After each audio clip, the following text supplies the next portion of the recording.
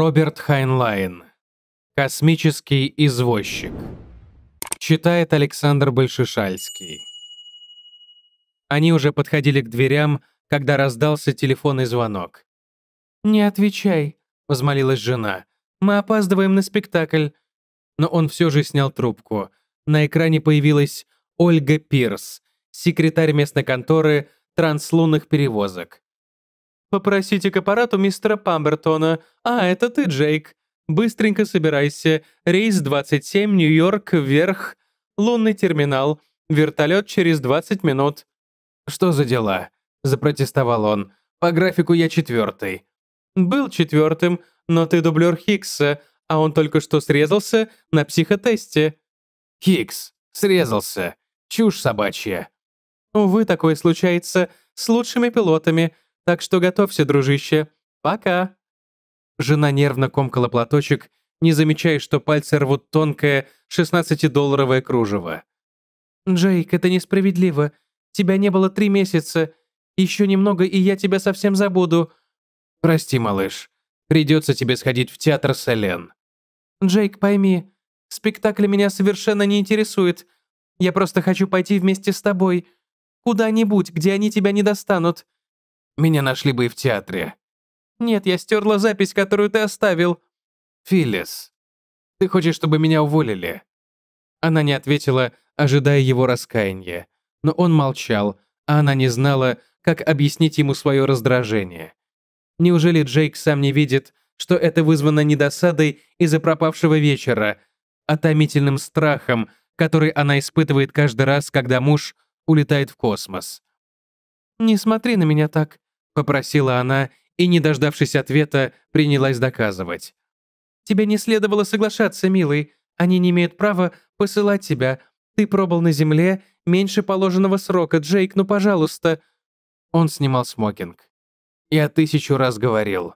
Пилот никогда не получит регулярных рейсов, если вздумает корчить из себя законника со сводом правил под мышкой. Подумать только, стереть мое контрольное сообщение, Зачем ты это сделала, Филис? Стараешься приземлить меня?» «Нет, дорогой, просто я думала, что хотя бы в этот раз...» «Когда мне предлагают рейс, я беру его», — холодно произнес он и вышел из комнаты. Вернулся он через 10 минут, уже переодетый для полета. Этого времени ему хватило, чтобы отвлечься от неприятных мыслей. Как обычно перед рейсом, Джейк был приподнятом настроении и насвистывал. Сказал диспетчер Кейси, что рейс в 5 часов. Жену целует Кейси, он к рейсу готов. Заметив выражение ее лица, он оборвал мотив. «Где мой комбинезон?» «Я сейчас принесу. Я приготовлю тебе поесть».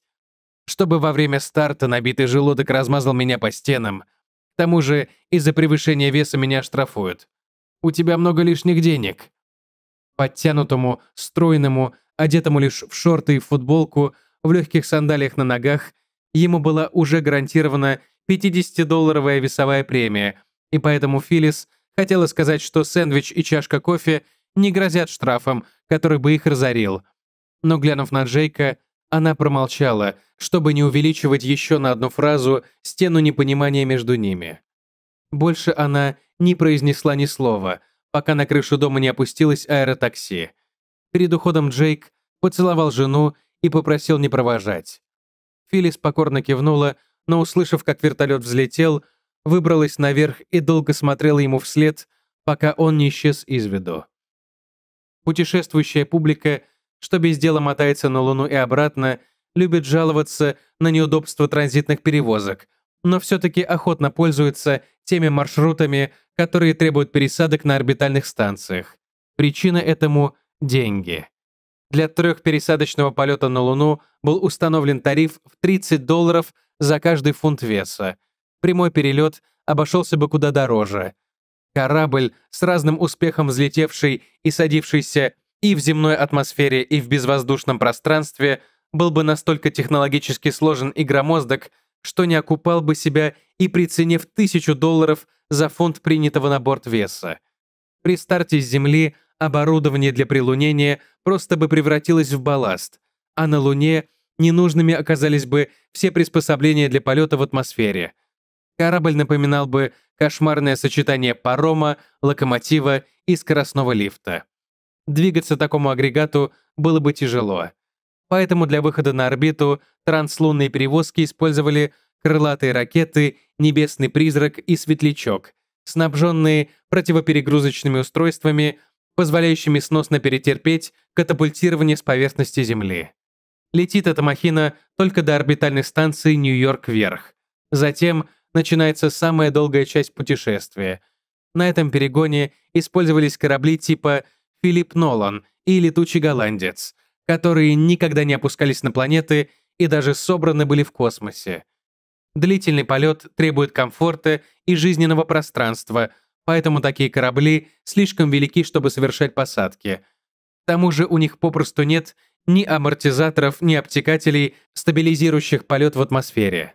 И вообще они похожи на стартовые корабли не больше, чем пульмановский вагон на парашют.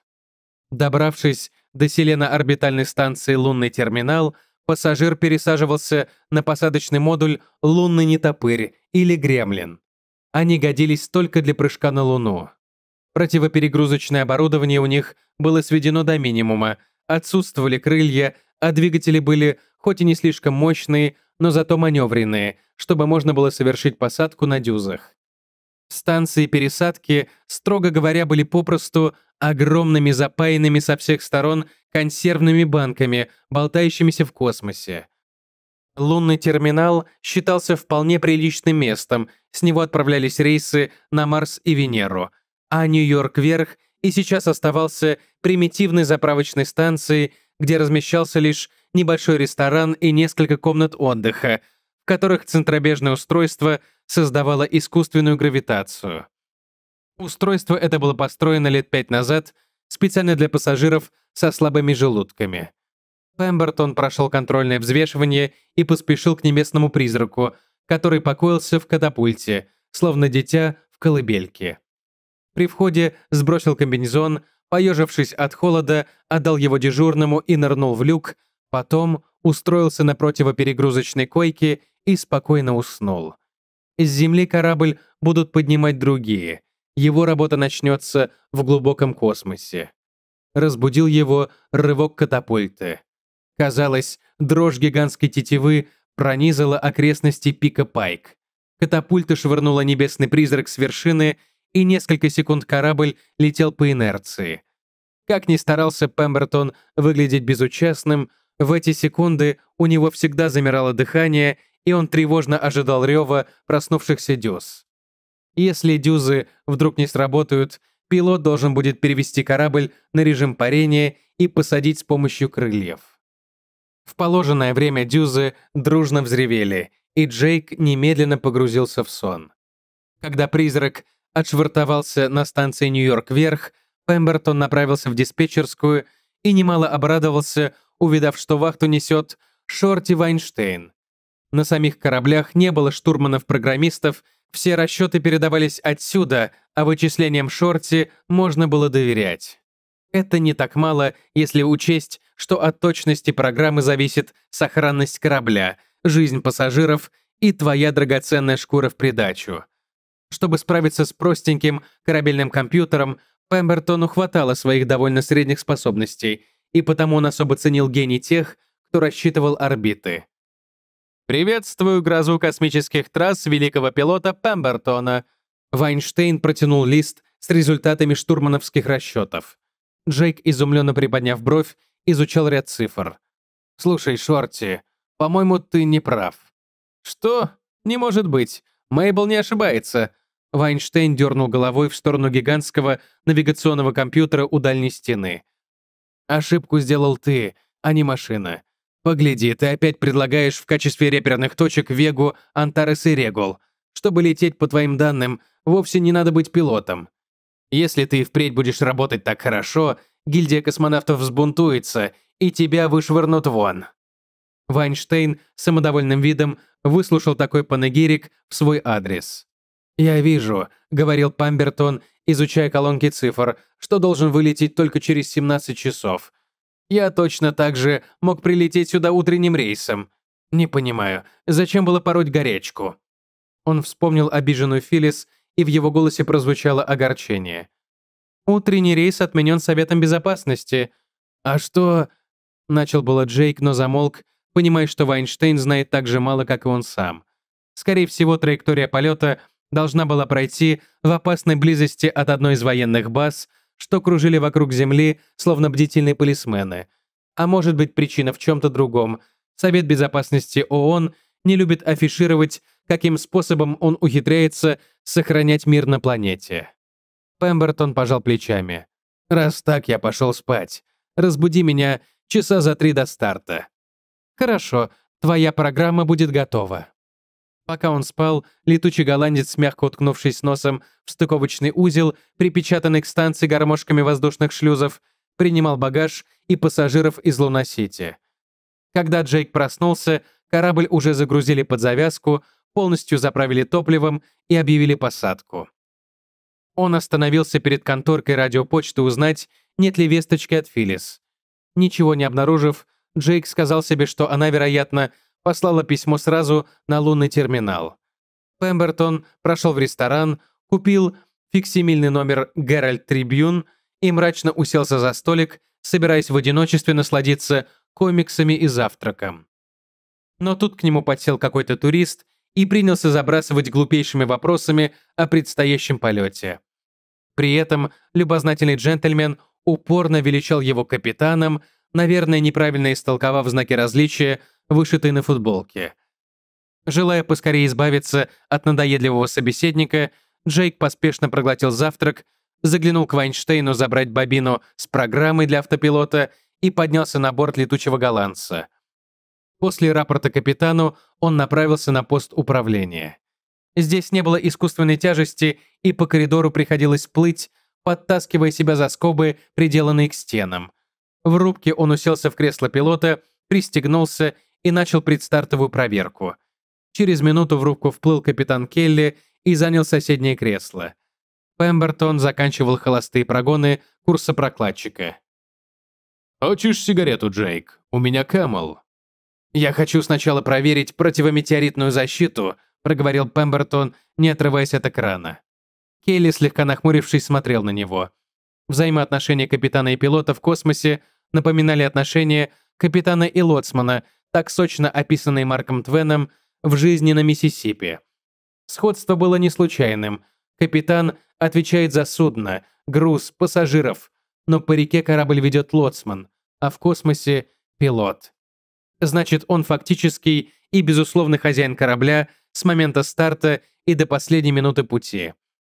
Перед полетом капитан мог отвергнуть назначенного ему пилота, но тем его полномочия и ограничивались.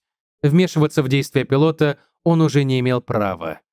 Келли нащупал лежавшую в кармане бумагу и вновь вспомнил слова, с которыми дежурный психолог вручил ему этот лист.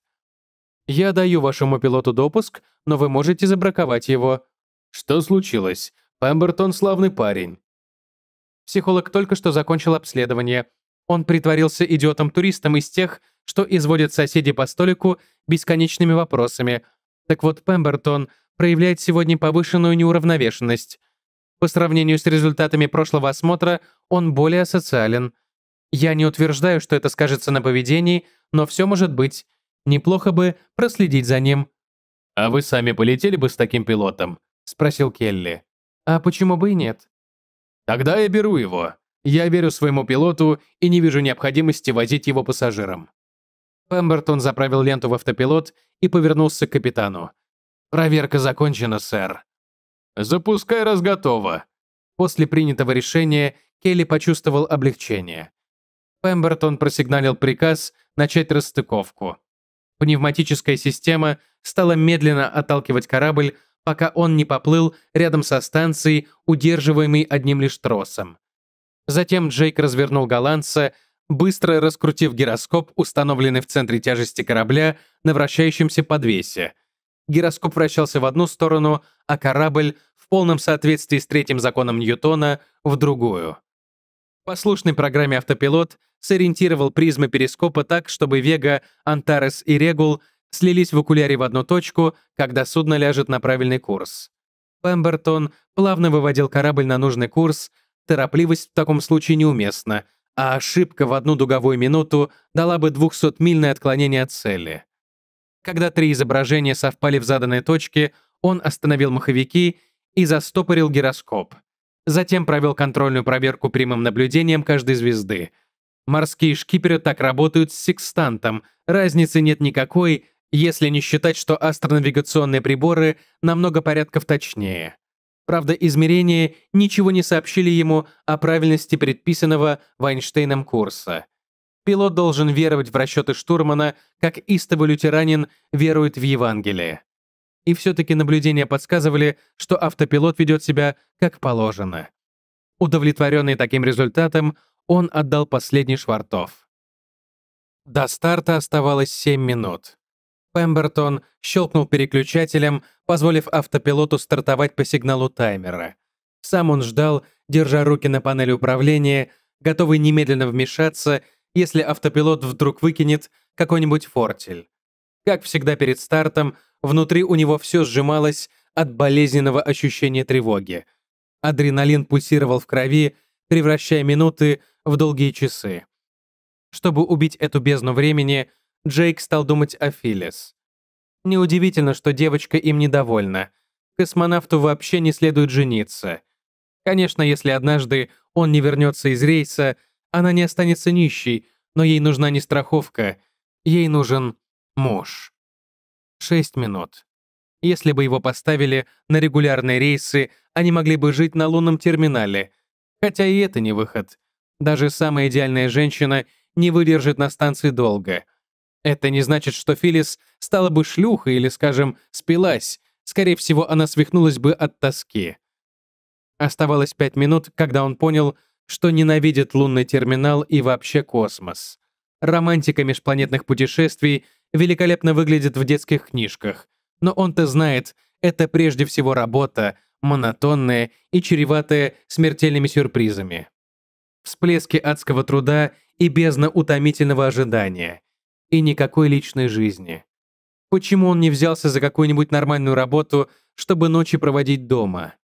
Ответ прост. Потому что он космический извозчик и стал им слишком давно, чтобы менять жизнь.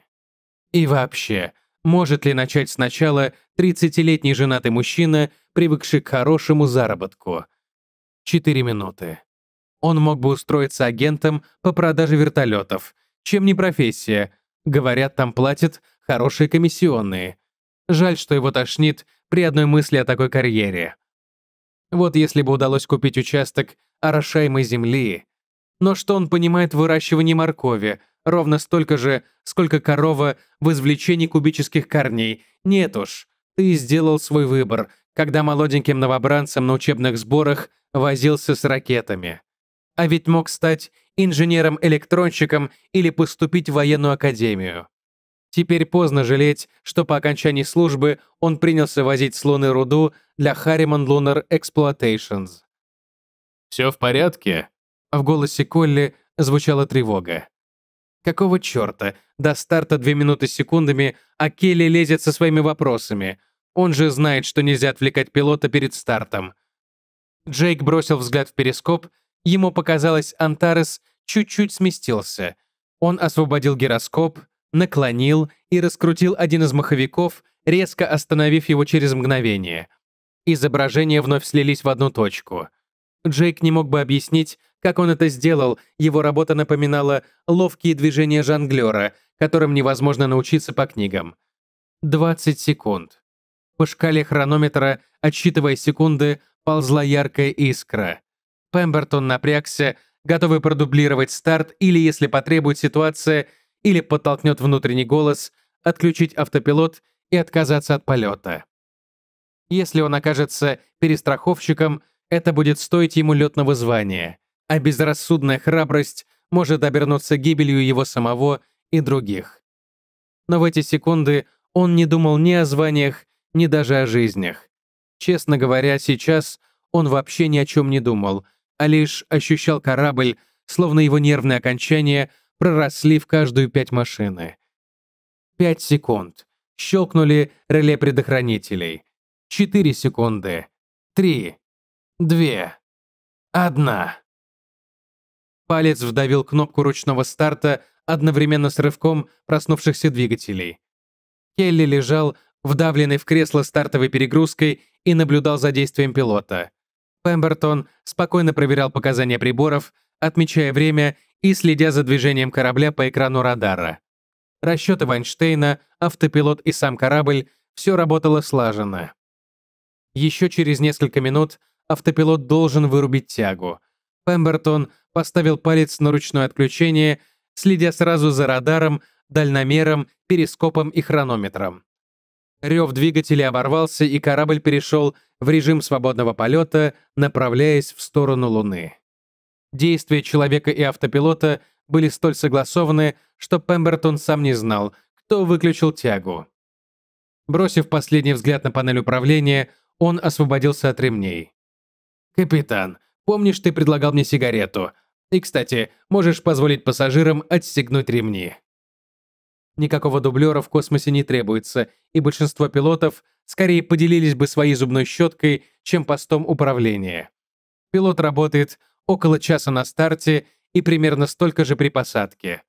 В полете он просто бездельничает, убивая время рутинными проверками и корректировкой курса. Пембертон собирался в течение 104 часов заниматься едой, чтением, сочинением писем и сном, уделяя последнему занятию особое внимание. Проснувшись в очередной раз, он проверил положение корабля и принялся писать жене. «Филис, дорогая, я не виню тебя за вчерашнюю ссору. Я и сам был расстроен, что наш вечер прошел зря. Потерпи немножко, милая. Я должен вскоре получить регулярные рейсы, а через 10 лет меня отправят в отставку, и у нас будет сколько угодно времени для бриджа, гольфа и всего остального. Я знаю, это трудно». Его прервал щелчок селектора. «Ну-ка, Джейк, быстренько скорчи самую компанейскую рожу. Веду посетителя в пост управления». «Никаких посетителей, капитан». «Нет, Джейк, у этого болвана письмо от самого старика Харримана. Окажите все возможное содействие и прочее в таком же духе». Мгновение Пембертон колебался, понимая, что обижать такую важную птицу не стоит. «Окей, капитан, Пусть зайдет ненадолго. Визитером оказался мужчина, общительный и скромный. Джейк прикинул, что в нем примерно фунтов 80 облагаемого штрафом веса. За ним следовала его 13-летняя копия мужского пола. Ворвавшись в дверь, Чада немедленно бросилась к пульту управления. Пембертон перехватил мальчишку и заставил себя вежливо произнести. «Держись за эту скобу, иначе ты можешь разбить себе голову». «Пусти меня! Папа! Заставь его отпустить меня!» Капитан Келли поспешил вмешаться. «Я думаю, судья, ему лучше держаться за скобу». «Да, да, хорошо. Сынок, делай, как говорит капитан». «Ого, смотри, пап, вот здорово!» «Судья Шахт, позвольте представить вам старшего пилота Пембертона», быстро произнес Келли. «Он покажет все, что вас заинтересует». «Рад познакомиться, пилот. Любезно с вашей стороны. «Что бы вы хотели посмотреть, судья?» — осторожно спросил Джейк. «Как бы сказать, и то, и сё. Все, что может заинтересовать мальчугана. Это его первый рейс. Сам-то я старый космический волк. Налетал должно быть больше часов, чем половина вашей команды». Он засмеялся. Пембертон оставался серьезен. В свободном полете и смотреть-то нечего. «Ну, пусть. Мы просто посидим здесь. Хорошо, капитан? Я хочу в кресло пилота заявил юнец. Пембертон, протестующий, замотал головой, но Келли произнес голосом, не терпящим возражений. «Джейк, расскажи мальчику в общих чертах о системе управления, и мы сразу уйдем». «Мне не надо ничего рассказывать. Я и так все знаю. Я юный американский космонавт. Вы что, не видите значка?» Мальчишка, оттолкнувшись, поплыл к пульту. Пембертон подхватил его, усадил в кресло пилота и пристегнул ремни затем щелкнул тумблером. «Что вы делаете?» Обесточил пульт и объясню тебе его работу. Вы что же, не будете запускать двигатели? Их сейчас нельзя запускать. И Джейк принялся быстро указывать на кнопки, циферблаты, переключатели, счетчики и прочие хитроумные приспособления, стараясь по возможности говорить попроще. Малый скорчил недовольную гримасу. «А вдруг в корабль попадет метеорит?» — спросил он. Этого бояться не надо. У нас один шанс из миллиона встретиться в космосе с метеоритом. Метеориты — большая редкость. Да, а вдруг все-таки нарветесь? Вот вы и влипли. Я бы так не сказал. Специальный радар стережет нас в радиусе 500 миль. Если что-то держится на постоянном пеленге в течение трех секунд, автоматически запускаются двигатели. Сначала будет дан сигнал тревоги, чтобы люди могли ухватиться за что-нибудь прочное, а через секунду — бац! Мы пулей вылетаем из-под носа у любого метеорита.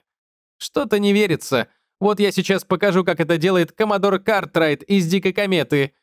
Не трогай управление. А ты не командуй. Корабль не твой. Мой папа говорит... «Послушай, Джейк», услышав свое имя, Пембертон развернулся к Келли. «Судья Шахт хотел бы узнать...» Краем глаза Джейк засек, как мальчишка потянулся к контрольной панели.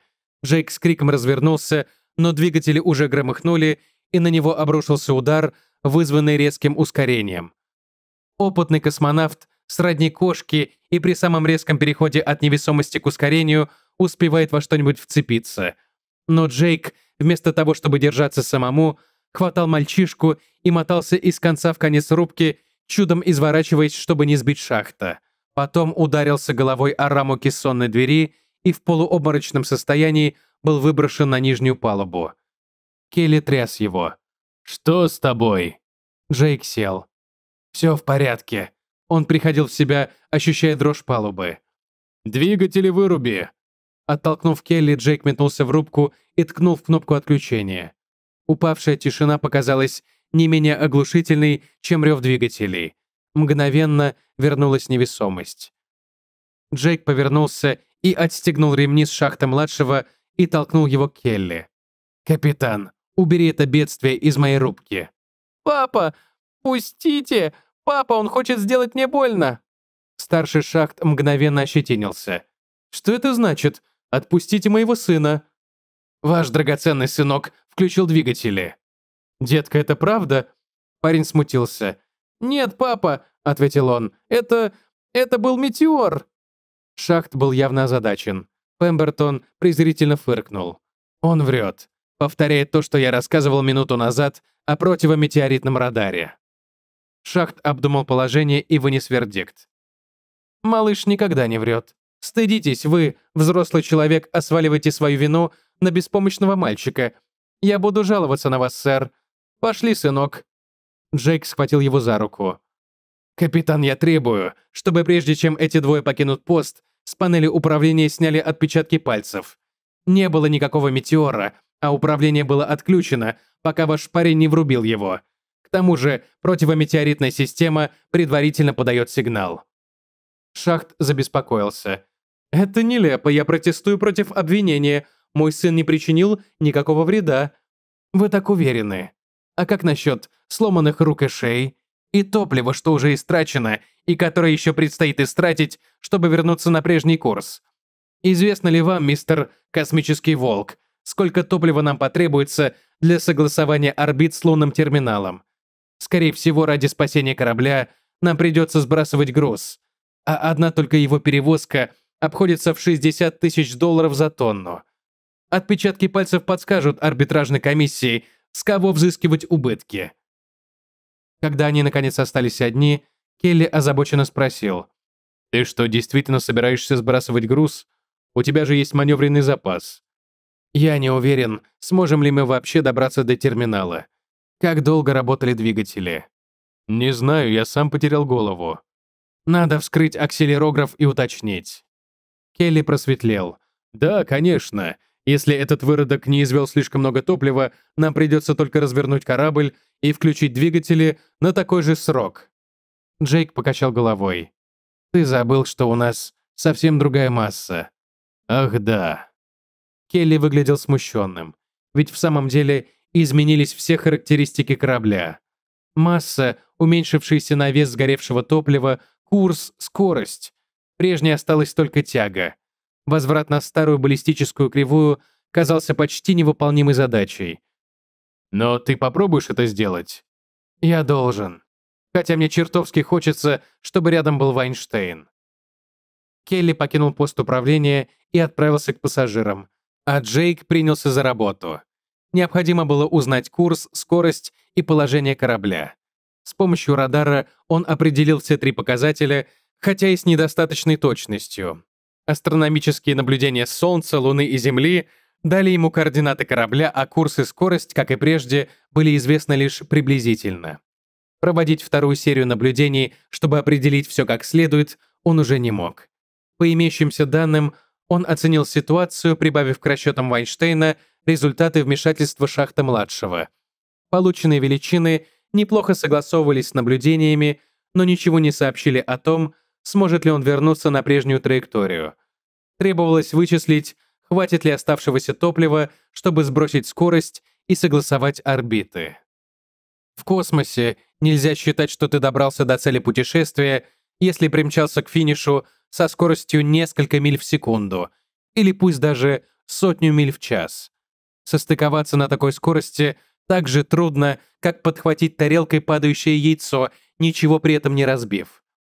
Джейк занялся расчетами, но маленький бортовой калькулятор не мог тягаться с многотонным компьютером перевалочной станции, а кроме того Джейк не был Вайнштейном. Спустя три часа он получил ответ, который заставил его усомниться в правильности своих расчетов. Джейк вызвал Келли. «Капитан, сброс груза можешь начинать с шахты и сына». «Я так и сделаю. Но сначала посмотри, нет ли другого выхода». «Не думаю, что смогу доставить корабль на место без сброса. Лучше скинуть лишнюю массу сейчас, перед разгоном. Это обойдется дешевле». Келли сам понимал, что это лучший выход, хотя с куда большим удовольствием он дал бы руку на отсечение. «Дай мне подумать, что выбросить». «Окей». Пембертон вернулся к своим выкладкам, надеясь отыскать в них спасительную ошибку. Некоторое время он размышлял, потом вызвал радиорубку. «Соедините меня с Вайнштейном. Нью-Йорк вверх». «Он вне прямой слышимости». «Знаю», — говорит пилот Пембертон. «Мне это нужно в интересах безопасности корабля. Обеспечьте связь направленным лучом и держите ее». «Хорошо, сэр, я попытаюсь». Узнав, в чем дело, Вайнштейн растерялся. «Что ты говоришь, Джейк? Я не смогу вести тебя». «Не дрейф, черт подери. Тебе не придется меня вести. Ты будешь всего лишь решать задачки». «А какой смысл в точности до седьмого знака, если исходные данные взяты с потолка?» «Я сам не знаю. Но ты ведь помнишь, какие у меня приборы и как я управляюсь с ними. А ты дай мне самый лучший ответ». «Я попробую». Через четыре часа Вайнштейн вышел на связь. «Джейк, принимай информацию. Ты хотел погасить скорость до расчетной, а затем сделать боковую коррекцию. Решение правильное, но не экономное. Я заставил Мейбл рассчитать все снова. Отлично. Не торопись. Так мы сэкономим мало топлива. Скорее всего, ты не сможешь вернуться на траекторию, не сбрасывая груза. Пембертон молча проглотил новость, затем ответил. «Я сообщу Келли». «Подожди. Лучше попробуй решать с самого начала». «Что?» Выкинь за борт программу автопилота и забудь о том, что было раньше. Рассматривай маневр как совершенно самостоятельную задачу. У тебя есть скорость и координаты. Вот, исходя из них, ищи способ добраться до терминала. Наплюй на старую траекторию и иди новым маршрутом». Пембертон почувствовал себя дураком. «Я как-то не подумал об этом». «Разумеется. С твоей трактелкой понадобилось бы недели три, чтобы рассчитать новую траекторию. Ты готов записывать?» «Конечно». «Вот твои данные». И Вайнштейн начал диктовать. Когда они кончили сверку, Джейк спросил. «Ты уверен, что выведешь меня куда надо?» «Я надеюсь на это. Если координаты, которые ты мне дал, абсолютно точны, если ты сможешь действовать вернее, чем автомат, если ты стартуешь и совершишь стыковку безо всякой коррекции, то тогда ты, может быть, сумеешь просочиться домой. Повторяю, может быть. Но в любом случае желаю удачи». Помехи заглушили последние слова. Джейк вызвал Келли. «Отставить сброс, капитан. Пассажирам пристегнуться. Старт через 14 минут». «Хорошо, пилот». После того, как корабль вышел на новую орбиту, у Джейка опять появилось свободное время. Он вытащил неоконченное письмо, перечитал и порвал его. «Дорогая моя Филис», — снова начал он. «В этом полете я многое передумал и понял, что был упрямым дураком. Я думаю, с этим пора кончать. Я люблю свой дом, люблю видеть свою жену. Так зачем ради перевозки какого-то хлама рисковать собственной шеей и твоим спокойствием. Я не хочу больше сидеть у телефона и ждать вызова, чтобы вести на Луну всяких твердолобых болванов. Из-за денег я мучил тебя и мучился сам. Я боялся рискнуть, попробовать изменить свою жизнь. Вряд ли я найду другую работу, где мне станут платить хотя бы половину того, что здесь. Но если ты согласна, я приземлюсь, и мы начнем все сначала. Я люблю тебя, Джейк». Он отложил письмо и отправился спать. Ему приснилось, будто банда юных ракетчиков взяла штурмом рубку управления. Вид Луны с близкого расстояния чрезвычайно привлекателен для туристов, но Пембертон настоял, чтобы во время маневра пассажиры пристегнулись. Практически не имея запаса топлива, Джейк не хотел растягивать маневр ради удобства зевак. Вскоре терминал показался из-за края Луны и поплыл в поле зрения радара. Оптической видимости не было, поскольку летучий голландец приближался к цели задом наперед. После каждого небольшого торможения Пембертон рассчитывал показания радара, сравнивая реальное движение с кривой, вычерченной Вайнштейном. Одновременно с этим он следил за часами, за окулярами перископа, за схемой полета и индикатором топлива. И все это разом. «Ну как, Джейк?» — беспокоился Келли. «Получается?» «Откуда я могу знать? Будь готов к сбросу».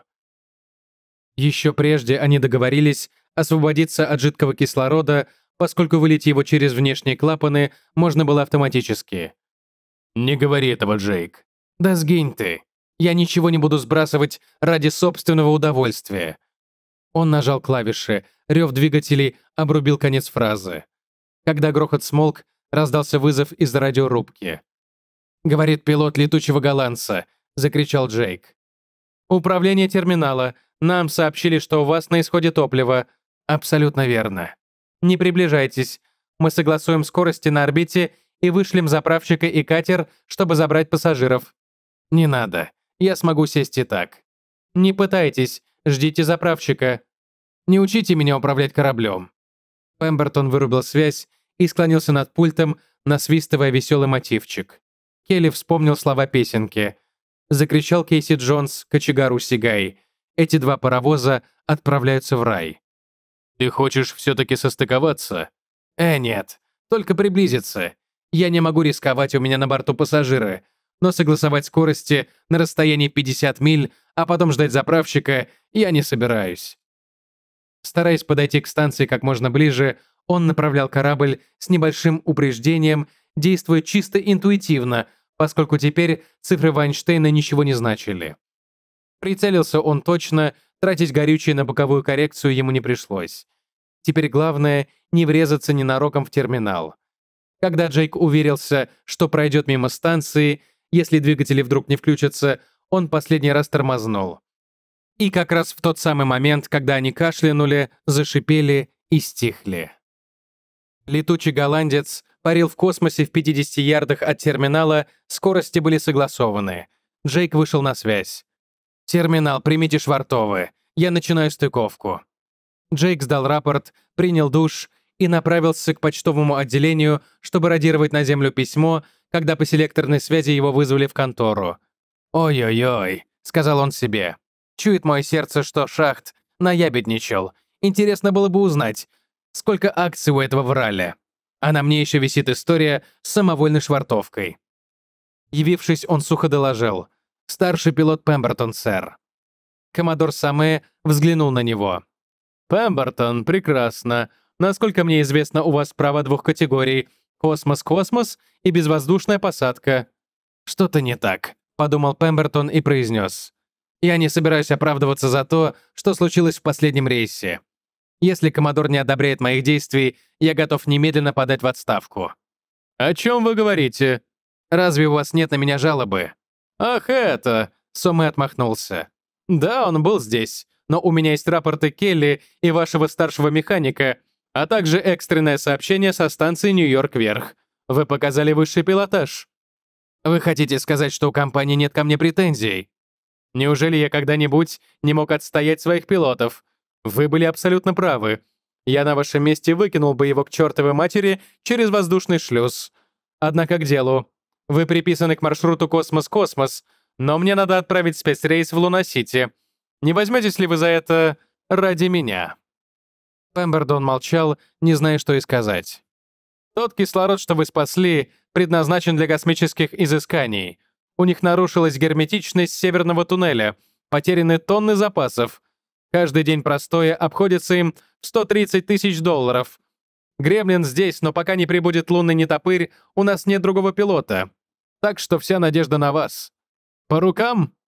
Но, Коммодор, вы не можете рисковать людьми, доверив мне посадку на дюзах. Я отвык. Мне надо пройти переподготовку. Никаких пассажиров, экипажа, капитана. Вы рискуете только своей шеей. Тогда я берусь. 28 минут спустя уродливый, но мощный гремлин стартовал в направлении Луны. Полет начался с мощного рывка двигателей, достаточного, чтобы сойти с орбиты и начать падение на Луну. Затем вновь наступила полоса вынужденного безделья. Падать корабль мог и без его помощи, а до поверхности Луны, когда понадобится точное торможение, еще далеко. Настроение у него было прекрасным, но потом Джейк достал письма. Свое, которое не успел отправить, и письмо от Филлис, пришедшее на терминал. Письмо от Филлис было поверхностно нежным и бессодержательным. Она не вспомнила ни о размолвке, ни о его неожиданном отъезде. Она совершенно игнорировала его профессию. Письмо было образцом вежливости, и это ему не понравилось. Он порвал оба письма и начал новое. «Ты никогда этого не говорила, но я знаю, что ты ненавидишь мою работу. Чтобы обеспечить семью, я должен работать. У тебя тоже есть работа. Это очень старая профессия, ею женщины занимались от сотворения мира. Вслед за мужьями пересекать во фургонах равнины, ждать возвращения кораблей из Китая, молча стоять возле шахты, где случился взрыв, на прощание целовать с улыбкой и с улыбкой заботиться о муже, когда он дома. Ты вышла замуж за космонавта, поэтому часть твоей работы состоит в том, чтобы бодро признавать важность моей службы, а принимать меня таким, каков я есть. Думаю, ты справишься с этим занятием, когда поймешь все как следует. Я надеюсь на это, ведь то, что происходит сейчас, никому из нас не приносит радости. Поверь, я люблю тебя. Джейк. Он вымучивал письмо, пока не наступило время посадки. На высоте 20 миль он включил автопилот, а когда до Луны оставалась одна миля, перешел на ручное управление. Скорость падения уменьшилась, но оставалась еще достаточно большой — Правильная безвоздушная посадка похожа на запущенный в обратную сторону старт ракеты. Сначала свободное падение, а затем продолжительная работа реактивных двигателей и полная остановка корабля в момент касания поверхности. При этом пилоту нужно чувствовать свое падение. Если чересчур замедлить его, можно сжечь все топливо, а опоздавший с включением двигателей рискует быть убитым перегрузками или разбиться. Через 40 секунд Сохраняя скорость 140 миль в час, он поймал в перископ 300-метровые башни Луна-Сити. Он резко затормозил, так что в течение секунды перегрузки составляли 5G, затем убавил тягу, остановившись на 1,6, нормальное для Луны ускорение свободного падения. Чувствуя себя счастливым, он по каплям ослаблял тягу. Пламя расплескивало камни — Гремлин парил, стоя на столбе огня, затем с достоинством, мягко, словно пушинка, опустился на грунт. Наземная команда занялась кораблем. Герметичный мобиль подвез Пембертона ко входу в туннель. Здесь его ждали. Он еще не кончил заполнять рапорт, когда услышал, что его вызывают к аппарату. Соме улыбнулся ему с экрана. «Я наблюдал за посадкой, Пембертон. Переподготовка вам ни к чему». Джейк смущенно покраснел. «Спасибо, сэр. Если вы не слишком привязаны к маршруту Космос-Космос, я мог бы предложить вам регулярные рейсы в Луна-Сити, жилье в Луна-Сити или здесь, ну как?» Он услышал собственный голос. «Луна-Сити. Я согласен». По дороге на почту Джейк порвал свое третье письмо. Подойдя к телефонной стойке, он попросил у блондинки в голубой лунной униформе. «Пожалуйста, соедините меня с миссис Пембертон. Суброб 6403, Додж-Сити, Канзас. Она окинула его взглядом. «Вы, пилоты, любите тратить деньги?» Иногда телефонный звонок оказывается дешевле письма. Будьте добры, поскорей, пожалуйста. Филлис подбирала слова для письма, которое, как она теперь понимала, надо было написать раньше. На бумаге легче выразить, что она не жалуется ни на одиночество, ни на отсутствие простых человеческих радостей, но больше не может вынести ежеминутного напряженного ожидания, полного тревоги за его жизнь. Но потом она поняла, что не способна правильно выразить то, что ее мучает. Она сама не знала, готова ли отказаться от Джейка, если он не бросит свой космос. Тут не найти логики. Телефонный звонок прозвучал как нельзя кстати. Видеоэкран оставался пустым. «Дальний», — раздался женский голосок. «Вызывает Луна-Сити». У нее оборвалось сердце. «Филлис Пембертон слушает». Последовала бесконечная пауза. Она знала, радиоволнам требуется больше трех секунд, чтобы преодолеть расстояние от Земли до Луны и обратно. Но сейчас она забыла об этом, да это и не успокоило бы ее. В воображении маячили жуткие картины. Ее дом разрушен, она сама вдова, а Джейк, ее любимый Джейк, где-то в космосе, мертвый. «Миссис Пембертон?» «Да-да, говорите же». Вновь долгое ожидание. Зачем она это сделала? Нельзя было отпускать его в рейс с плохим настроением. А теперь он умер там, думая, что она — ничтожная пустышка, заботящаяся только о своих удобствах. Она предала его в ту самую минуту, когда была особенно нужна ему. Она пыталась привязать его к своей юбке, словно маменькиного сынка, а взрослые мужчины не выносят такого обращения. Они должны уходить по своим мужским делам, если пытаться их удерживать, они оборвут любые, самые прочные узы. Ведь она знала об этом с самого начала. Еще мама предупреждала ее, чтобы она не смела этого делать. Она молилась, слушая могильную тишину телефонной трубки. И вот там раздался голос, разом смявший все страхи. «Это ты, родная?» «Да, дорогой, да. Что ты делаешь на Луне?» «Длинная история. При тарифе доллар в секунду она может и подождать. Ответь только, хочешь ли ты приехать ко мне в Луна-Сити?» Теперь настала очередь Джейка страдать от запаздывания радиоволн. Вдруг Филлис настолько привыкла к размеренной жизни, что не решится бросить все и отправиться за ним в небеса. Наконец он услышал. «Конечно, дорогой. Когда мне собираться?» «А разве ты не хочешь узнать, зачем?» Она принялась уверять, что это не важно, а потом все-таки попросила. «Расскажи». Радиоволны по-прежнему приходили с задержкой, но это уже было неважно. Он рассказал подробности и добавил. «В съезде, в спринте, попроси Ольгу Пирс оформить нужные бумаги. Тебе понадобится моя помощь, чтобы собраться». Она не раздумывала. «Нет, я справлюсь сама. Ты у меня умница. Я радирую тебе длинное письмо, чтобы взять с собой. Я люблю тебя. А пока до свидания». «Я тоже тебя люблю. До свидания, дорогой». Пембертон вышел из кабинки, насвистывая. Все-таки славная девочка его Филлис. Верная. Удивительно, как он мог сомневаться в ней. Большое спасибо за прослушивание этого ролика. Если вам понравилось, я буду очень признателен, если вы напишите комментарий, даже просто сердечко или огонечек. Это поможет Ютубу понять, что это видео можно предлагать посмотреть другим зрителям.